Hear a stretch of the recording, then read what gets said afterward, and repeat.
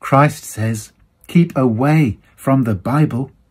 The living Christ says, these writings you have put together into one book, the Bible, are a historical account of various events and people's thoughts about them. Such writings should not be regarded as accurate always, or right, and rarely God's word. There's a lot wrong with them.